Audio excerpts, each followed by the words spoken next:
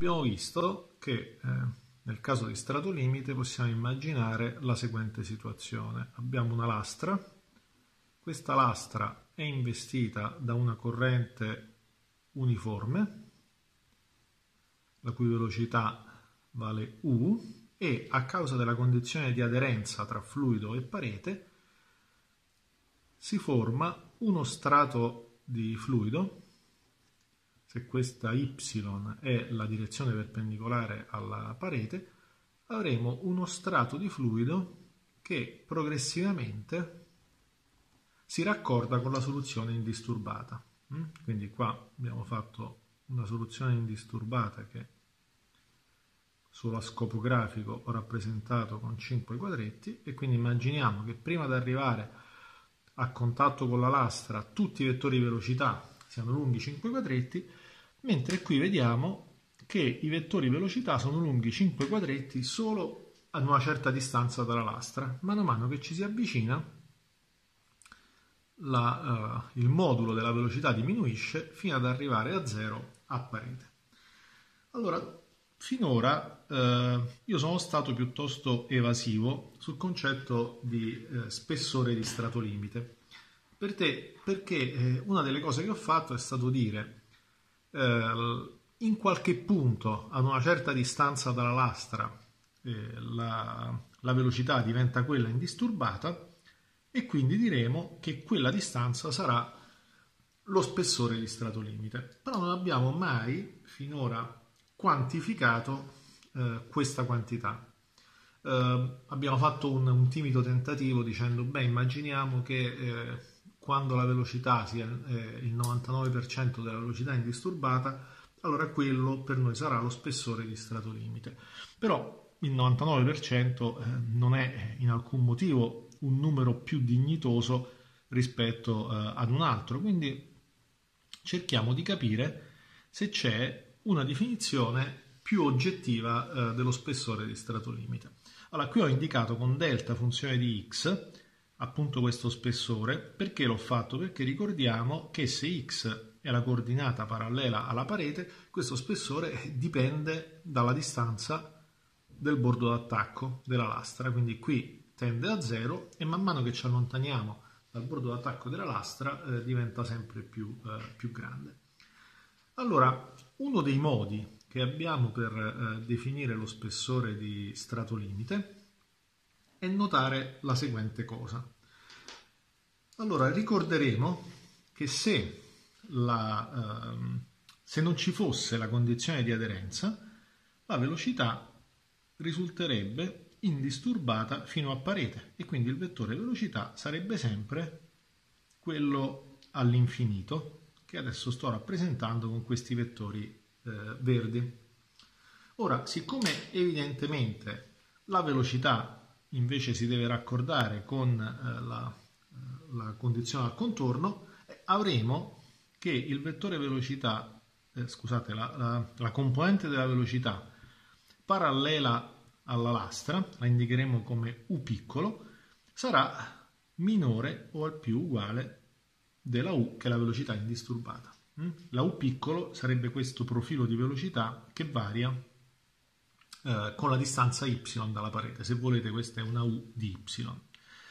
Allora, risultando la u minore o al più uguale rispetto alla u grande, ah, cioè alla velocità indisturbata, eh, sarà anche vero che se io faccio un integrale tra 0 ed una certa distanza h di u in dy, questo dovrà essere necessariamente minore o al più uguale dell'integrale tra 0 ed h di u grande in dy.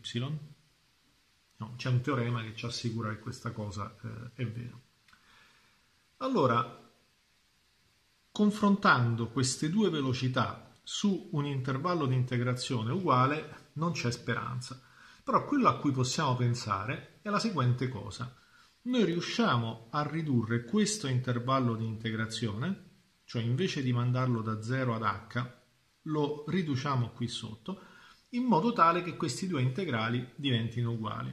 Cioè immaginiamo di voler cercare una distanza dalla parete che chiameremo delta asterisco tale che l'integrale tra delta asterisco ed h di u grande in dy risulti non maggiore. Siccome adesso abbiamo ridotto l'intervallo di integrazione, dobbiamo trovare questo delta asterisco in modo tale che questo risulti uguale all'integrale tra 0 ed h di u in dy. Ora, posta così sembra una domanda eh, diciamo, squisitamente matematica. In realtà eh, notiamo che, che, non è esattamente così. Vediamo un po' che cosa stiamo chiedendo. Uh, dy è un intervallo infinitesimo nella direzione y. Immaginiamo per esempio questo intervallo che rappresento in rosso. Allora, u piccolo dy possiamo immaginarlo, siccome la U piccolo è questo profilo di velocità che aderisce alla parete, possiamo immaginare che y, U piccolo, scusate, dy sia rappresentativo dell'area di questo rettangolino infinitesimo. Viceversa, U grande dy sarà rappresentativo dell'area di questo rettangolo, stavolta propriamente detto, che possiamo capire con il verde. Allora, immaginando B una direzione eh, perpendicolare al piano del foglio e essendo la densità del fluido costante, quindi la potremmo semplificare a destra e a sinistra, U di Y non è altro che la portata in massa infinitesima, ripeto, a meno della densità e a meno di una dimensione perpendicolare al piano del foglio, che comunque sarà uguale per entrambi, quindi U di Y sarà la portata infinitesima attraverso la sezione, eh, lo spessore infinitesimo di y dato dal profilo di velocità reale, mentre u grande di y sarà l'analoga portata in massa, ma stavolta prodotta dal profilo eh, ideale, quindi quello eh, in assenza di viscosità. Allora a questo punto possiamo immaginare che l'integrale tra delta star e h sia tutta la massa che transita tra la distanza delta star e h a causa del profilo ideale, mentre l'integrale tra 0 e h di u piccolo sarà la portata in massa che transita a causa del profilo reale. Ora, siccome delta star è maggiore di 0, noi stiamo immaginando che ci sia una certa distanza dalla eh, parete, ora la disegno così immaginandola casualmente, io sto immaginando che ci sia questa distanza che chiamiamo delta star e questa sarà tale che il profilo di velocità ideale, cioè quello che scende giù dritto senza curvare, tra delta star e una distanza h, che per, per il momento non abbiamo specificato, ci garantisca una portata in massa uguale alla portata in massa invece tra 0 e la stessa altezza h del profilo reale. Ora, non dobbiamo dimenticare che purché ci troviamo al di fuori dello strato limite, U piccolo e U grande coincidono perché fuori dello strato limite il profilo di velocità reale e quello ideale eh, sono la stessa cosa, cioè siamo così lontani dalla parete che l'effetto della viscosità non è più importante. Quindi a patto di prendere questo H molto maggiore di delta, e lo scrivo qua, Mm, lo scriviamo qua sopra, con H molto maggiore rispetto a delta, noi in realtà stiamo eh, valutando il profilo di massa, la, il flusso di massa, in un caso tra delta star e l'infinito e nell'altro caso tra la parete e l'infinito, cioè quando H è molto più grande di delta, eh, se andiamo all'infinito, se ci fermiamo eh, ad un certo punto non, non fa differenza, a un certo punto finito, non fa differenza. Ora ricordiamo sempre che eh, stiamo girando in tondo al problema perché eh, abbiamo sollevato questa questione perché non sappiamo definire delta e adesso diciamo di affidarci ad una quantità h molto più grande di delta non sapendo quanto è delta. Però per il momento, visto che delta avevamo visto che era la lunghezza nella dimensione orizzontale diviso la radice quadrata del numero di Reynolds con qualche coefficiente incognito, beh, se questo delta approssimato ci viene qualche millimetro, possiamo immaginare che h sia qualche decina di centimetri o qualche metro e quindi siamo sicuramente al di fuori. Vedremo tra un po' che decidere esattamente quanto vale h risulta essere del tutto irrilevante. Allora, con questa eh, posizione possiamo eh, continuare e risolvere questo integrale, perché a primo membro è banale, siccome u è una costante, questo integrale non sarà altro che u grande h meno u grande delta star e questo dovrà essere uguale all'integrale tra 0 e h di u piccolo in dy. Bene, allora adesso quello che possiamo fare è risolvere questa relazione eh, esplicitando delta star e quindi troviamo che delta star sarà uguale, anzi facciamo un passaggio in più, u per delta star lo portiamo al secondo membro e questo dovrà essere uguale a u per h meno l'integrale tra 0 ed h di u in dy. Bene, ora u per h lo possiamo scrivere come integrale tra 0 e h di u in dy.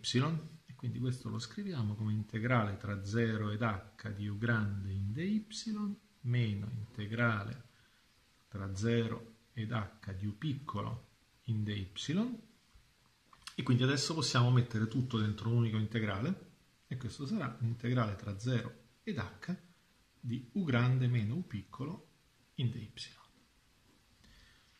Quindi quello che possiamo fare è dividere primo e ultimo membro per uh, u grande e quindi troviamo per delta star questa espressione delta star uguale integrale tra 0 ed h di u grande diviso u grande, cioè 1, meno u piccolo diviso u grande in dy. Adesso notiamo una cosa. Noi ancora non sappiamo quanto deve valere questo h, però quello che sappiamo è che deve essere molto più grande di delta. Tuttavia sappiamo anche che quando ci troviamo fuori dello strato limite, il profilo di velocità reale e quello ideale coincidono e quindi vuol dire che fuori dello strato limite u piccolo e u grande sono la stessa cosa, cioè il rapporto vale 1 e qui abbiamo 1 meno 1, cioè fuori dello strato limite questo integrale ha una funzione integranda che è nulla. Quindi scrivere h più grande di delta o scrivere infinito è esattamente la stessa cosa. Allora a questo punto, lo scrivo qui, abbiamo trovato un'espressione delta asterisco uguale all'integrale tra 0 e l'infinito di 1 meno u piccolo su grande in dy allora, abbiamo trovato un'espressione che non dipende più da un nostro uh, giudizio personale. Cioè, quando io avevo detto che delta era il 99, lo, la distanza dalla parete a cui la velocità reale era il 99% della velocità indisturbata, beh, in qualche modo io dovevo uh, inserire un parametro che avevo scelto io, che era questo 99%. Viceversa, con una definizione del genere, noi non abbiamo alcuna possibilità di intervento viene un numero che dipende soltanto da come è fatto il profilo di velocità U piccolo. E quindi abbiamo dato una prima definizione oggettiva non di spessore di strato limite, ma di una grandezza surrogata che prende il nome di spessore di spostamento. Magari scriviamolo qui, si chiama spessore di spostamento. Perché prende questo nome così bizzarro? Perché di fatto, eh, se adesso riflettiamo a ciò che abbiamo eh, derivato matematicamente, questa distanza risponde a questa domanda. Di quanto devo spostarmi rispetto alla parete, cioè da zero, di quanto devo salire fino a delta star, per far sì che la portata in massa del flusso ideale tra delta star e l'infinito sia uguale alla portata del flusso reale tra la parete e l'infinito. Cioè, se ricordate quando abbiamo iniziato a parlare di strato limite, all'inizio la tentazione eh, di chi se ne occupava, quindi dei matematici, dei fisici e degli ingegneri, era quella di sostituire lo spessore di strato limite con un corpo un po' più eh, gonfio, tra virgolette, e adesso un po' più gonfio dipende da che cosa vogliamo eh, assicurare. Allora, se vogliamo assicurare che la portata in massa intorno al corpo sia uguale a quella in presenza di strato limite ma con un fluido ideale, allora è sufficiente spostare il contorno di questo corpo di una distanza delta star eh, ovunque. In altre parole, se volete da un punto di vista matematico, questo eh, parametro delta star risponde a questa domanda. A quale distanza quest'area che sto campendo è uguale a quest'altra area che ho appena tratteggiato. Esisterà evidentemente soltanto una distanza perché l'area in basso sarà una funzione crescente di delta star, l'area in alto è una funzione decrescente, quindi ci sarà un delta star di equilibrio dove queste due aree sono uguali. Ecco, questa distanza di equilibrio è proprio lo spessore di spostamento. Ora eh, non rifaccio tutta la, la derivazione, ma eh, è facile immaginare che siccome il flusso eh, è più lento vicino alla parete rispetto al caso ideale, non solo passa meno massa, ma ci sarà anche un difetto di quantità di moto, cioè tra, la, tra 0 e una distanza h qualunque, passa più quanti, fluisce più quantità di moto nel caso di flusso ideale che nel caso eh, di flusso reale. E eh, questo avviene per due motivi. Innanzitutto perché passa meno massa, e questo l'abbiamo appena visto, e poi perché vicino alla parete la massa che passa è più lenta. Allora potremmo rispondere a questa domanda. A quale distanza dalla parete? Moltiplicando questa distanza per U quadro io riesco a compensare il difetto di quantità di moto causato dallo strato limite. Questa distanza normalmente viene indicata con θ e si chiama spessore di quantità di moto e Rifacendo i passaggi si ha questa definizione, integrale tra 0 e l'infinito di u piccolo su u grande che moltiplica 1 meno u piccolo su u grande in dy. Questo si chiama spessore di quantità di moto. Quantità di moto. Ed è un'altra eh, lunghezza caratteristica del, eh, del, dello strato limite. Adesso, la volta scorsa abbiamo visto che eh, l'equazione di, eh, Navier-Stokes scritte all'interno dello strato limite si riducono a una forma relativamente più semplice eh, che prende il nome di equazione di Prandtl. Ora, l'equazione di Prandtl dà eh, alcune informazioni eh, molto importanti. Eh, la prima, eh, anche se è una delle meno eh, diciamo, eh, spiegate dal punto di vista teorico, è che dp in dy all'interno dello strato limite è circa uguale a 1 su Reynolds, cioè tende a 0. Che cosa vuol dire? Che all'interno dello strato limite la pressione non varia lungo lo spessore, cioè se questa è una determinata x, x segnato, fino a quando io mi trovo dentro lo strato limite, che abbiamo immaginato essere fino a qui, beh, la pressione qua dentro non cambia valore perché la derivata rispetto a y, e y è la coordinata perpendicolare alla parete, è di ordine 1 su Reynolds. E siccome vi ricorderete che eh, lo strato limite la teoria dello strato limite vale quando il numero di Reynolds è molto più grande di 1, cioè bisogna avere grandi numeri di Reynolds, vuol dire che questa derivata tende a 0. L'altra cosa che avevamo imparato dalle equazioni di Prandtl, scalandole opportunamente, adesso no, non ripetiamo tutta la scalatura, è che soltanto uno dei termini viscosi eh, sopravvive e quindi le equazioni, possiamo scriverle per esempio in forma eh, dimensionale, quindi non scalate alla, alla Prandtl, hanno questa forma u du in dx più v du in dy uguale a meno 1 su ρ derivata di P fatta rispetto a x più mu diviso ρ derivata seconda di u fatta rispetto ad y quadro.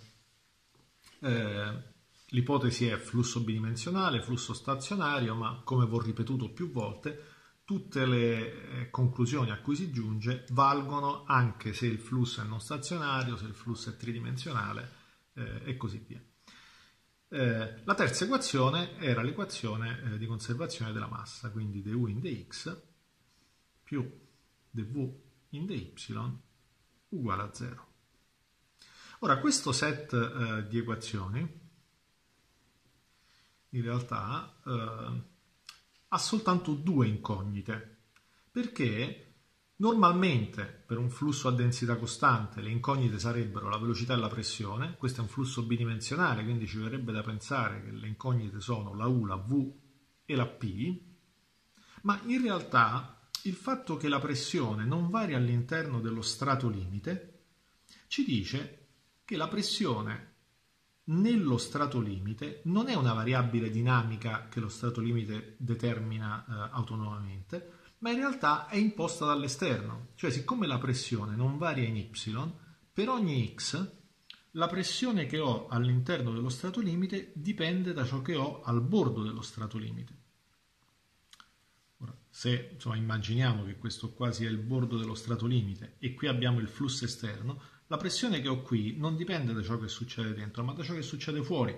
Questo è il motivo per cui ho scritto la pressione eh, diciamo, con questa derivata eh, totale, perché la, rispetto a y non dipende e eh, dipenderà al più da x, ma dipende da, dalla x attraverso il flusso esterno, cioè se volete questa P la potremmo addirittura chiamare P esterna per distinguerla da un'eventuale pressione che eh, lo stato limite potrebbe, ma non fa perché c'è questa condizione, determinare autonomamente.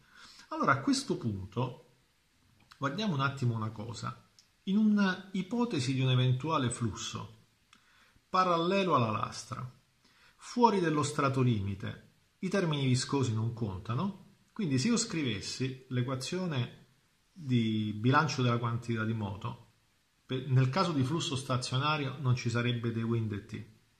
Poi ci sarebbe una U the wind x, e questo termine ci sarebbe, poi ci sarebbe una V the wind y, ma se il flusso è parallelo all'esterno non c'è la V, ci sarebbe il termine di pressione e poi non ci sono i termini viscosi, perché ricordiamoci che siamo fuori dello strato limite e fuori dello strato limite i termini viscosi non contano. Quindi questo che cosa ci dice? lo posso scrivere qua, fuori dello strato limite, fuori dello strato limite, l'equazione di bilancio della quantità di moto nella direzione x si riduce a questa cosa, u du su dx uguale a meno 1 su ρ derivata della pressione esterna fatta rispetto a x. E quindi vuol dire che questo termine, di fatto, lo posso sostituire con quest'altro termine. E qui vedete la U è la U grande, non è la U piccola, perché questo termine dipende unicamente da ciò che accade all'esterno dello strato limite. Quindi, considerando che questo termine di pressione può essere scritto in questo modo, e ricordando che l'equazione di, eh, di Prandtl per il flusso su lastre piane parallele di fatto ha soltanto due variabili, la u e la v, noi possiamo scrivere la componente x dell'equazione della quantità di moto, eh, la scrivo qui, la possiamo scrivere in questo modo, u derivata di u rispetto a x più v derivata di u rispetto a y uguale, ora invece di mettere meno 1 su ρ derivata della pressione esterna rispetto a x ci mettiamo questo termine esterno, u derivata di u rispetto ad x e poi abbiamo il termine viscoso. Ora ricordiamoci che mu diviso ρ è uguale a ni, viscosità cinematica, quindi per semplificare la notazione scriviamo ni E poi abbiamo l'altra equazione, che è l'equazione di conservazione della massa, quindi du su dx più dv su dy uguale a 0.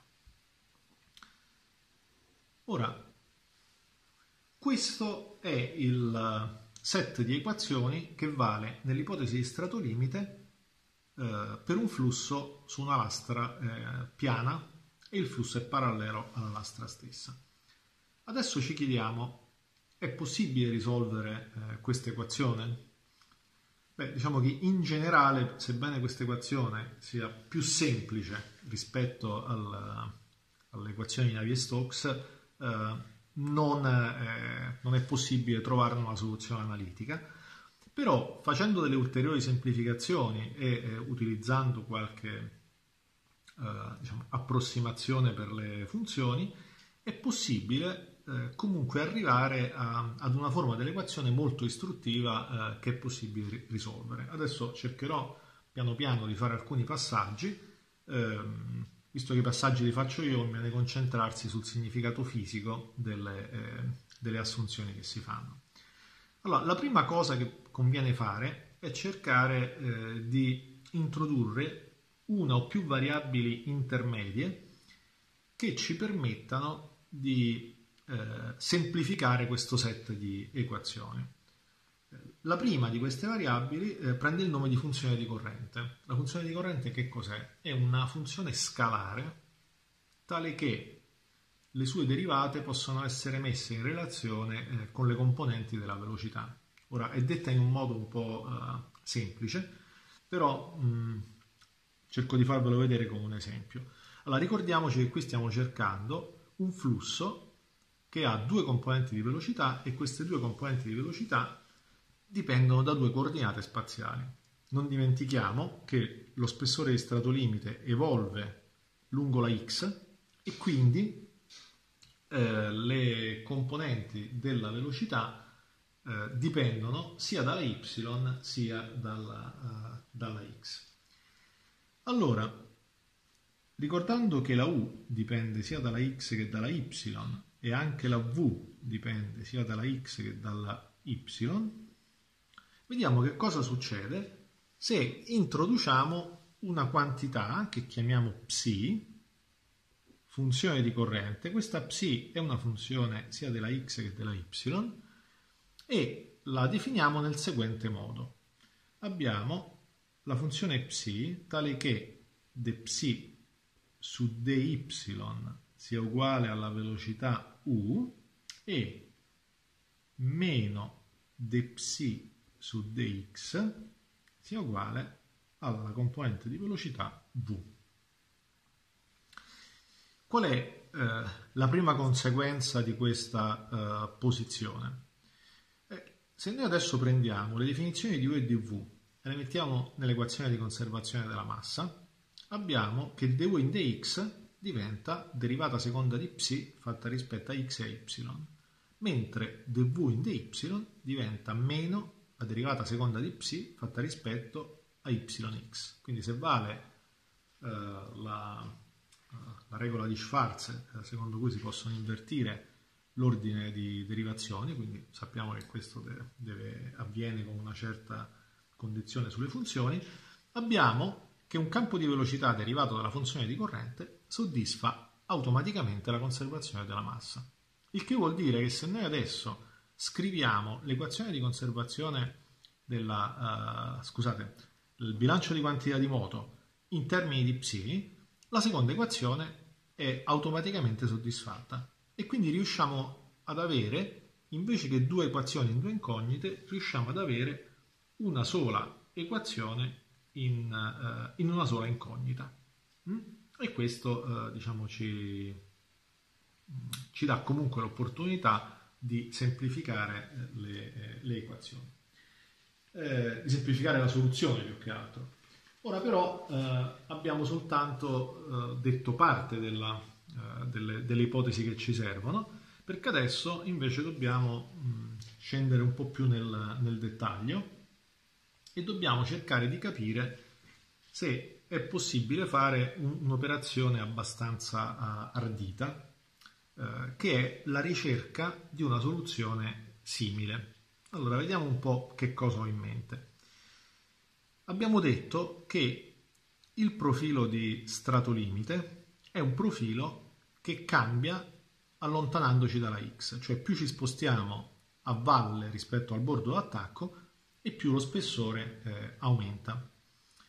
Allora, se questo è quello che succede ad una certa uh, x, per esempio questa qui la possiamo chiamare x uh, tilde, se io mi metto ad una certa distanza boh, che chiamiamo x uh, cappello, io avrò un altro profilo di velocità.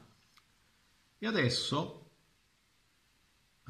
prima lo disegno completamente a caso e poi lo commentiamo. Adesso questo profilo di velocità io posso averlo diverso per due motivi. Innanzitutto perché è cambiato lo spessore di strato limite. Qui in x tilde lo spessore di strato limite è questo, in x cappello lo spessore di strato limite sarà eh, cresciuto se mi sono spostato a valle. Ora, in generale, in linea di principio, abbiamo anche un altro fattore. Guardate qui questo termine che ha sostituito il gradiente di pressione. Qui abbiamo U derivata di U rispetto a X. Cioè, in generale, noi possiamo anche avere che la velocità esterna non è costante rispetto alla X, ma varia man mano che ci si allontana dal, dal bordo d'attacco. Per esempio, in un canale a, tra lastre piane e parallele, eh, siccome lo spessore di strato limite cresce, la velocità esterna deve accelerare un po' per mantenere la stessa portata, perché aumenta lo spessore di fluido attraverso cui eh, la velocità ha rallentato. Mm? Quindi abbiamo, adesso provo a farlo qui eh, come uno schema, se qua ci mettiamo la velocità e qua ci mettiamo la y, io potrei avere che un primo profilo, per esempio, è fatto così, mentre un secondo profilo può essere fatto così. Quindi questo potrebbe essere lo spessore delta di x tilde, mentre questo potrebbe essere lo spessore delta di x cappello come altezza. Viceversa, questa potrebbe essere la velocità esterna alla coordinata x tilde, mentre questa potrebbe essere la velocità esterna alla coordinata x cappello. Quindi in generale avremo che la velocità dipende sia da x che da y perché cambia lo spessore di strato limite e cambia la velocità esterna. Adesso qui c'è la, uh, la questione più spinosa. Allora, se io ho in generale una velocità che dipende dalla x e dalla y, io mi pongo questa domanda. Io riesco a prendere questa velocità e scalare la quantità y in qualche modo e poi scalare tutta la funzione in qualche modo così da ottenere una funzione eh, che non dipende più dalle due variabili separatamente. Cioè, l'idea è questa, io riesco a prendere questa funzione e trasformarla in un'altra, che è la seguente, u di x e poi invece di y ci mettiamo y diviso una certa h che dipende da x e poi la funzione stessa la devo dividere per un'altra funzione che posso chiamare g che dipende da x. Io riesco a fare questa cosa. Vediamo un po' che cosa significherebbe. Significherebbe creare un altro sistema di coordinate in cui in questa direzione non c'è la y, ma c'è y diviso h di x e in quest'altra direzione, cioè sull'asse delle ascisse, non c'è la u, ma c'è la u diviso per g di x. E, lì, e la domanda è, io riesco a trovare h di x e g di x in modo tale che queste due curve diventino una sola? Quindi insomma è una domanda non eh, da poco.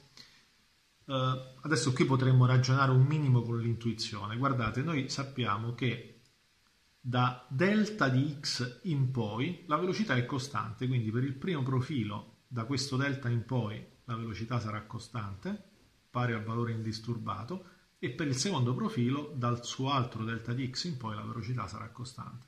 Quindi già intuisco che se al posto di questo h di x ci metto il delta, lo spessore di strato limite, quello che avrò è che quando questa variabile adimensionale diventa 1, cioè quando la y ha raggiunto lo spessore di strato limite, da lì in poi posso richiedere che la velocità sia costante.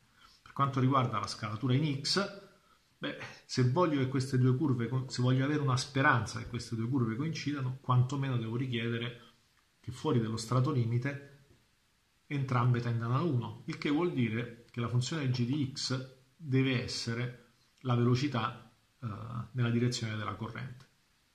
Quindi di fatto 0,0 è un punto fisso perché ha la condizione al contorno. Beh, io posso fare in modo, prendendo g di x come velocità esterna e h di x come spessore di strato limite, io posso fare in modo che ci sia un altro punto fisso che sarà 1, 1. Cioè, quando y vale delta, u piccolo vale u grande. Mm? Quindi io sono sicuro che da qui in poi la, uh, il profilo di velocità uh, andrà su dritto verticale. Ora però niente mi garantisce che le due curve in realtà io riesca a farle coincidere in una sola semplicemente facendo questa scalatura. Ora io questa cosa ve la risparmio perché eh, è una procedura abbastanza lunga e piena di passaggi matematici, ma si può dimostrare che questa cosa è possibile prendendo al posto di g piccolo la u funzione di x e al posto di h di x lo spessore di strato limite, purché sia verificata una condizione. La velocità esterna allo strato limite deve variare secondo una legge di potenza. Cioè, si può dimostrare che purché la u di x abbia questa forma, questa qui è la velocità u grande, quella esterna, sia fatta così. A per x alla m, dove m è un esponente qualunque ed ha, ed ha grande è un coefficiente numerico qualunque, cioè se è vera questa possibilità, questa relazione, allora io riesco sicuramente a fare una cosa del genere e a rendere questa uh, funzione unica. Eh, Ora, questo ci dà un ampio margine di manovra, ma non qualunque margine di manovra. Se io mettessi, per esempio, un canale in cui la parete superiore oscilla sinusoidalmente, beh, non verrebbe mai una cosa del genere, perché avrei una velocità esterna dove il canale si restringe accelera, dove si riallarga rallenta, e quindi non potrei mai scrivere il profilo di velocità eh, in termini di funzioni eh, simili.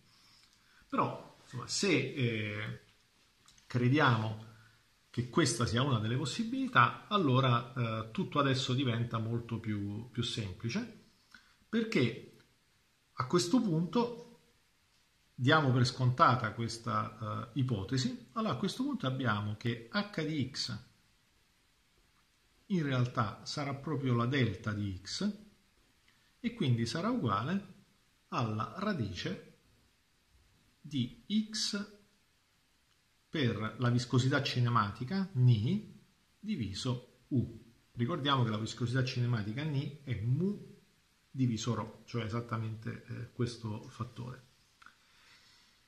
A questo punto quello che si fa, si definisce eh, quindi la y su delta, sarà una funzione che dipende, lo scriviamo qua, y su delta di x sarà una funzione che dipende sia dalla x che dalla y e quindi la chiameremo eta e questa eta dipende sia da x che da y, teniamolo a mente, e questa sarà uguale a y per la radice quadrata di u diviso ni per x. Questa è una prima uh, questione. Adesso, eh, e questa qua è l'ipotesi più delicata di tutte quante, noi dobbiamo immaginare che la funzione di corrente psi possa essere espressa dal prodotto di due variabili, di due funzioni. Quindi abbiamo che psi di xy noi la dobbiamo poter scrivere come la radice quadrata di ni per u grande per x per una certa funzione f della variabile eta. Ora, mm, noi teoricamente avremmo anche potuto scriverla così e basta, tanto eta dipende in ogni caso sia da x che da y e, noi la f non l'abbiamo mai determinata. Tra un istante, eh, facendo qualche passaggio, sarà chiaro perché eh, ci fa proprio comodo che sia scritta in questo modo. Adesso che cosa dobbiamo fare? Eh, con un po' di pazienza dobbiamo ricordare che u e v sono le derivate rispetto a x, eh, scusate, rispetto a y e, e meno derivata rispetto a x della funzione di corrente, che adesso ha questa espressione, e poi dobbiamo prendere queste definizioni di velocità e le dobbiamo mettere dentro questa uh, forma dell'equazione eh, del, di bilancio della quantità di moto. Vi ricordo che la conservazione della massa non serve in quanto esprimendo le velocità come derivate della funzione di corrente, la conservazione della massa è automaticamente eh, soddisfatta. Allora, cominciamo a derivarci qualche termine eh, con un po' di pazienza e ce lo mettiamo eh, da parte. Facciamo attenzione a una cosa, guardate, qui abbiamo questo termine che dipende da x, dopodiché abbiamo la eta che dipende sia dalla x che dalla y. Questo dobbiamo ricordarcelo perché quando facciamo le derivate eh, ci sono alcune dipendenze esplicite ed altre nascoste. Quindi cominciamo, cominciamo dalla u. La u è la derivata della funzione psi rispetto alla x. Vedete, l'avevamo, eh, scusate, rispetto alla y. Qui è fondamentale non, non commettere errori, altrimenti non ci ritroviamo. Quindi è questa definizione. E quindi come la facciamo? Dobbiamo fare la derivata rispetto alla y. Vedete che questa parte non dipende da y e quindi sarà un coefficiente premoltiplicativo, ni ux. Poi abbiamo la derivata rispetto a y di f e questa sarà una funzione composta perché la f dipende da y attraverso eta e eta ha questa espressione e quindi sarà derivata di f rispetto a eta, che la scriveremo come f' per la derivata di eta rispetto a y. Ora, siccome eta è una funzione lineare in y, avremo soltanto il termine radice di u diviso ni per x. Ora, ni e ni lo possiamo semplificare, x e x lo possiamo semplificare, radice di u e radice di u si moltiplicano, diventano u, e quindi la u diventa semplicemente u grande per f'. E quindi abbiamo eh, trovato la prima componente di velocità. Ora dobbiamo trovare la componente v. Eh, solo per semplicità permettetemi di scrivere meno v uguale a dψ in dx Adesso questa è un po' più complicata perché la psi dipende dalla x per due funzioni, per questa e attraverso la eta che come vedete dipende da x e quindi qua dobbiamo essere un po' pazienti eh, e un po' attenti. Quindi innanzitutto cominciamo, eh, abbiamo la prima, la f non derivata e quindi la scriviamo direttamente così, per questa derivata Ora Ni eh, e U non, non, partecipano alla derivata, abbiamo la derivata della radice di x che è 1 su 2 radice di x e quindi viene f mezzi per la radice di Ni U diviso x. Ora però dobbiamo fare l'altra derivata e quindi abbiamo, qui traccio una linea per non confonderci con il resto. Quindi adesso abbiamo questo fattore. Per il momento non metto segni così poi vediamo ciò che, che otterremo, ni u x, per la derivata di f fatta rispetto a x. E quindi qui avremo la derivata di f fatta rispetto ad eta. E quindi di nuovo ci sarà f' per deta in dx. Ora eta ha questa espressione, quindi ci sarà y per la radice di u diviso ni e quindi adesso devo fare la derivata rispetto a x di 1 su radice di x. E quindi viene innanzitutto un meno poi viene una x a denominatore poi viene un fattore 2 e poi abbiamo una radice di x che posso mettere qui. Quindi speriamo di non aver fatto errori. Vediamo un po' anche qui possiamo uh, fare qualche semplificazione. E quindi alla fine vediamo un po' che cosa otteniamo. Guardate forse qua una cosa che ci conviene fare è riottenere eta e possiamo farlo perché eh, semplificando questa x e questa radice di x riotteniamo una radice di x a, a denominatore qui ce ne abbiamo un'altra e quindi riorganizzando un po' di eh, termini abbiamo un mezzo che possiamo mettere a fattor comune poi abbiamo radice di ni u fratto x che moltiplica f meno eta f' insomma, ho, riorganizzato un po' i termini in modo da riottenere da questo uh, miscuglio di variabili un'altra volta la eta, mm, ma uh, ci dovrebbe essere. Bene, adesso quindi che cosa dobbiamo fare? Abbiamo trovato la u, abbiamo trovato, ricordiamoci che questa è meno v, non è eh, la, la v, e quindi adesso la dobbiamo mettere qua dentro. E qui eh, adesso cominciamo, provo a fare passaggi un po' alla volta, quindi abbiamo U che sarà U grande per F'. Ora abbiamo du in dx e quindi devo fare la derivata rispetto a x di questa uh, funzione.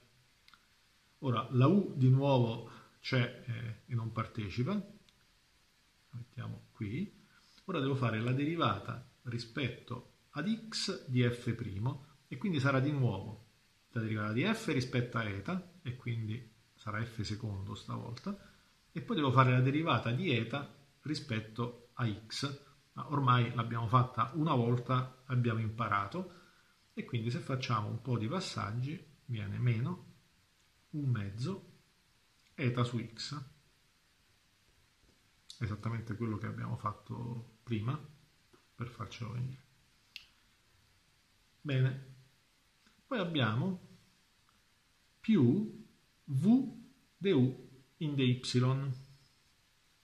E quindi qua, siccome qui avevamo meno v, adesso devo prendere questa quantità e cambiare segno. Quindi posso semplicemente invertire questi due termini all'interno e quindi abbiamo più un mezzo radice di ni u fratto x per eta f' meno f e questa è semplicemente la v. Ora devo fare du in dy, la u è questa e quindi abbiamo di nuovo un'altra u grande, poi la derivata rispetto a y di f' e quindi avremo f secondo per deta in dy, ma eta ha questa espressione, derivata rispetto a y, ci sarà la radice di u diviso eta x, tutto sotto radice. Bene, siamo arrivati qui, oppure se volete qui, visto che stiamo guardando questa. Questo sarà uguale a u grande du su dx e poi abbiamo più ni derivata seconda di u rispetto ad y quadro. Ora, d quindi y era questa, già l'avevamo uh, fatta, dobbiamo fare un'altra derivata rispetto ad y e quindi avremo una u che già c'era, poi uh, era una derivata seconda, diventerà una derivata terza e poi avremo questo termine eh, ce ne sarà un altro e quindi eh, semplicemente tolgo la radice quadrata. Bene, anche qui traccio una riga per distinguere da quello che c'è sopra. Ecco qua. Bene, siamo arrivati eh, a questo punto. Adesso, eh, magari qualche passaggio possiamo risparmiarcelo. Guardate qui che cosa abbiamo. Abbiamo un fattore un mezzo e qui c'è il fattore un mezzo. Poi qui abbiamo u per u u al quadrato, f' f secondo, eta su x con un segno meno. Adesso, se noi questi qua li moltiplichiamo, il primo e l'ultimo, vedete abbiamo radice di n e radice di n che si semplificano, radice di u, radice di u si moltiplicano con questa u fa u al quadrato e torna questo u al quadrato, il fattore un mezzo è qui, radice di x per radice di x diventa x ed è questo, eta qui c'è, f', f secondo, questo con un segno più e questo con un segno meno. Quindi ci crediate o no, questo termine si cancella con quest'altro termine. Adesso ci rimane quindi a primo membro soltanto questo, quindi sarà un mezzo f, f secondo, poi abbiamo radice di u per radice di u che fa u al quadrato, radice di ni e radice di ni si semplificano e poi abbiamo radice di x e radice di x che invece eh, rimangono. Quindi a primo membro abbiamo, facciamo un passaggio ulteriore, avremo un segno meno, un mezzo, u quadro diviso x, f per f secondo. A secondo membro abbiamo u de Wind x, lo scrivo u derivata di u fatta rispetto ad x, e poi ci rimane, eh, no scusate qui c'è anche, no, eh, questo qui l'ho cancellato bene, qui abbiamo un ni e un altro ni che si semplificano, e quindi abbiamo u quadro diviso x F terzo. Quindi vediamo che siamo riusciti a semplificare notevolmente l'equazione, sebbene ancora non sia uh, semplicissima. A questo punto ci viene richiesto l'ultimo sforzo di semplificazione che è il seguente. Immaginiamo che du in dx sia 0, du grande rispetto a x sia uguale a 0. Badate bene, questa qua è un'ipotesi, eh? questa qua non, non è una, uh, nessuna legge fisica. Peraltro un'ipotesi anche molto forte, perché se adesso andiamo a ritroso, che cosa significa che du in dx sia 0? Vuol dire che qua deve essere m uguale 0, cioè la velocità esterna deve essere costante. Allora, se questo è vero, se la velocità esterna è costante, questa equazione non avrà più questo termine centrale, il che vuol dire che il termine u quadro diviso x si semplifica e questa equazione diventa molto più semplice perché se questo è vero, quindi questa qua è un'ipotesi, se questo è vero, allora l'equazione diventa f terzo più un mezzo f f secondo uguale a 0. Questa prende il nome di equazione di Blasius. Blasius era uno studente eh, di eh, Prandtl e è stato colui che ha derivato eh, una delle prime soluzioni eh, per il flusso di strato limite. Badate bene, non soluzioni analitiche, perché Blasius alla fine è arrivato a questa equazione Ora questa è incomparabilmente più semplice rispetto a tutte quelle che abbiamo visto finora, principalmente perché se andiamo a ricercare tra tutte le cose che abbiamo scritto su questo foglio, scopriamo che questa equazione coinvolge soltanto f di eta e f di eta è vero che ha la variabile eta che contempla sia la x che la y, ma ce l'ha in forma combinata, quindi questa è un'equazione differenziale ordinaria, non è un'equazione differenziale alle derivate parziali.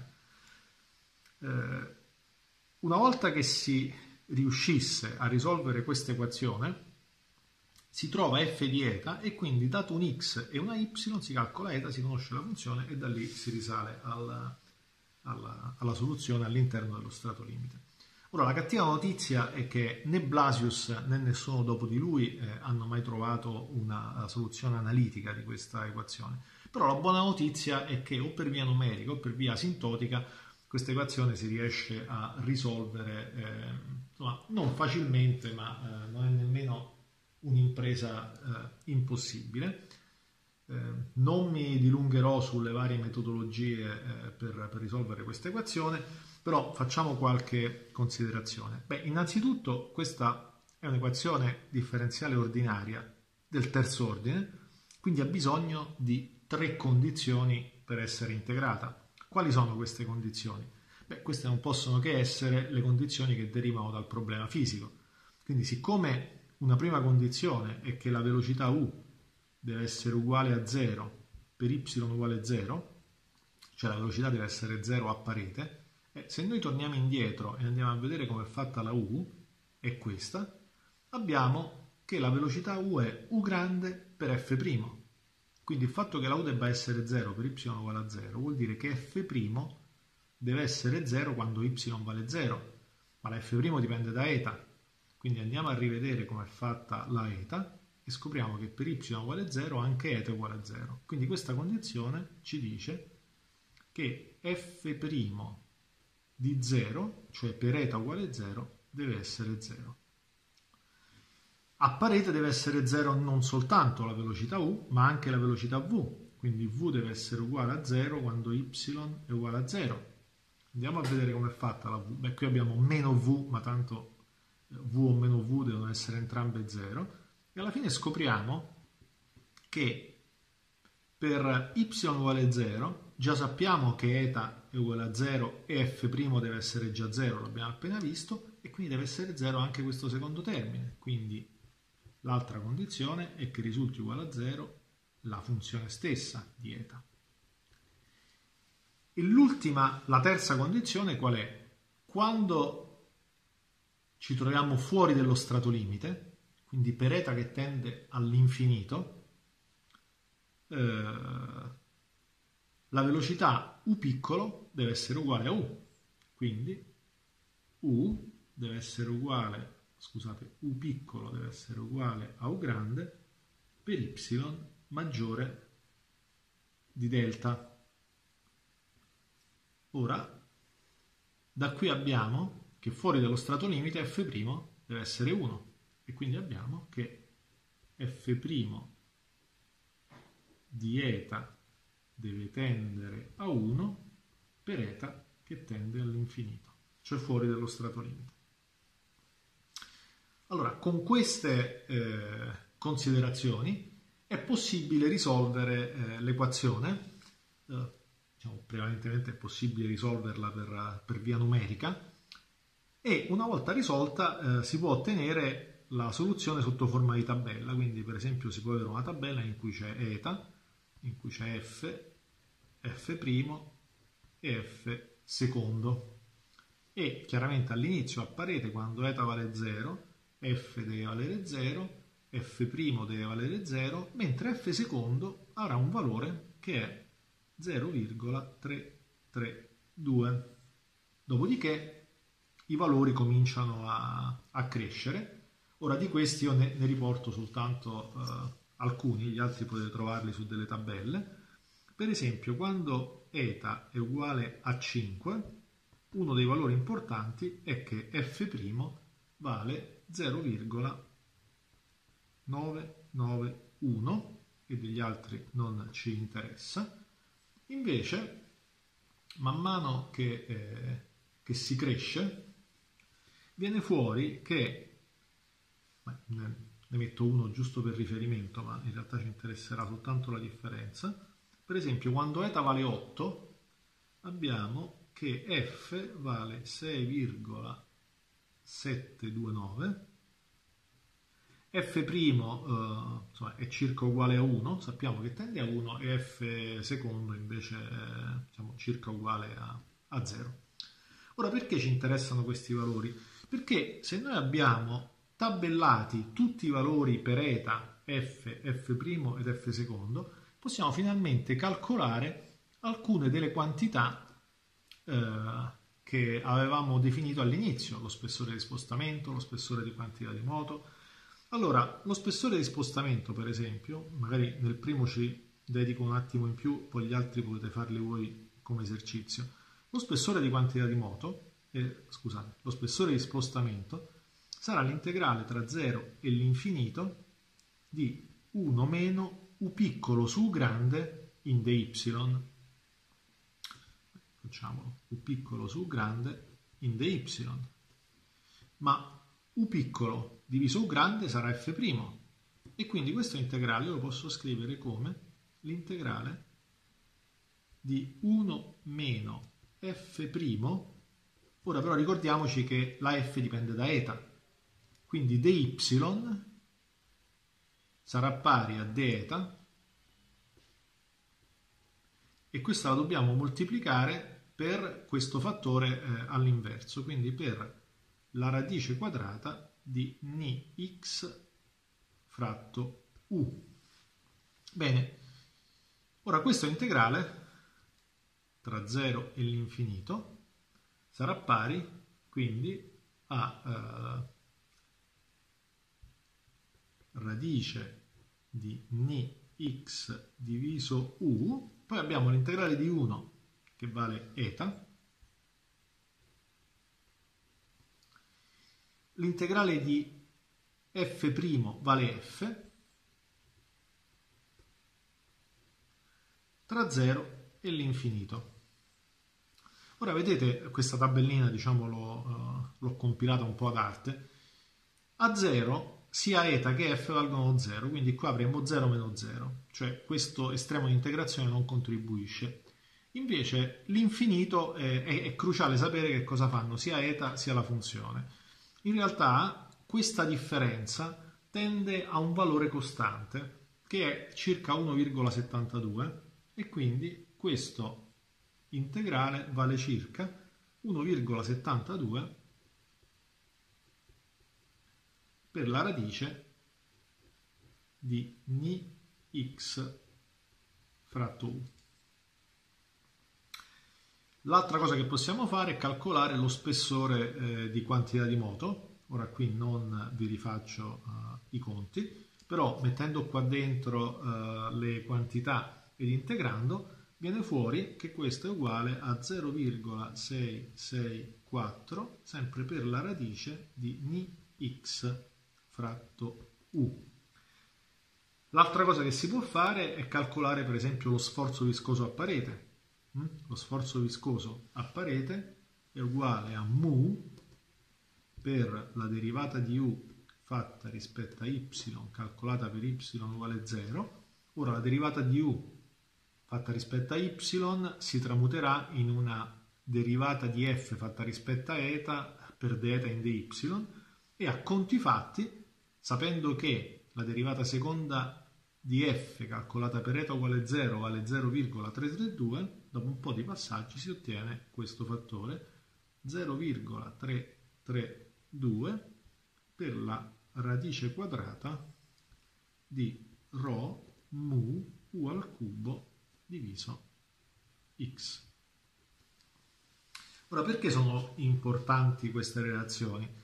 Beh, tanto per cominciare perché eh, le soluzioni analitiche in fluidodinamica sono eh, rarissime, spesso sono ottenute in condizioni così semplificate che eh, sono di scarsa utilità, viceversa questa è una soluzione eh, di notevole, notevole, utilità perché questa ci dà un campo bidimensionale. Mm, forse non so se è chiaro, ma una volta nota la f di eta, attraverso questa ricostruzione è possibile calcolare il campo bidimensionale di velocità u e v e quindi è possibile calcolare l'integrale delle forze. Mm? Eh, l'altra questione notevolmente importante è che ci permette di capire come variano le grandezze all'interno dello strato limite. Ora qui non eh, l'abbiamo visto nel, eh, nel, dettaglio, ma se avessimo visto che cosa fa questa f' di eta per, eh, nell'intorno di eta uguale 0, si vede che questa all'inizio cresce linearmente, il che vuol dire che lo sforzo viscoso a parete all'inizio è, strato, diciamo, è contenuto in uno strato di fluido eh, all'interno del quale è costante. Questo ha delle implicazioni poi per la uh, teoria della turbolenza.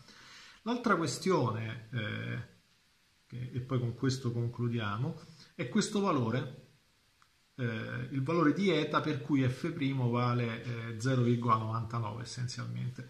Perché eh, ho, ho scelto di rappresentare questo valore? Proprio perché una delle definizioni che avevamo dato come spessore di strato limite è la distanza dalla parete a cui la eh, velocità è il 99% della velocità indisturbata. Allora, come vedete, questo accade quando eta vale 5, il che vuol dire che se ci, eh, se ci eh, diciamo, ancoriamo alla definizione di spessore di strato limite come proprio quella distanza, quel 99%, allora a questo punto abbiamo che possiamo indicare delta di x come circa uguale a 5 volte questa lunghezza ni x diviso u. Chiaramente questa qui è una definizione soggettiva, chiamiamola per esempio delta 99 per ricordarcelo, mentre delta asterisco, che come vedete vale circa un terzo rispetto allo spessore di strato limite, questa non, non ha in sé nessuna, uh, nessuna, scelta soggettiva. Bene, con questo uh, concludiamo. Uh, forse un'ultima cosa, eh, vi ricordo che questa soluzione che abbiamo ottenuto, che è eh, la soluzione dell'equazione di Blasius, ha come richiesta fondamentale che risulti deu in dx 0.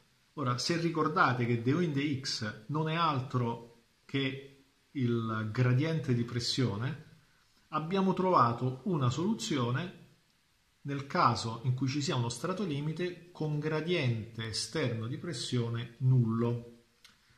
È possibile trovare anche eh, soluzioni nel caso in cui questo gradiente esterno di pressione non sia nullo, ripeto, purché la velocità segua questa legge di potenza. Si giunge però a un'equazione molto più complicata che si chiama equazione di Faulkner-Scan e eh, la cui soluzione eh, richiede diciamo, moltissimi passaggi eh, matematici e, eh, insomma, sicuramente questioni eh, più complicate che non vale la pena di affrontare a questo livello del corso. Bene, con questo eh, direi che possiamo concludere la, la lezione e ci vediamo alla prossima.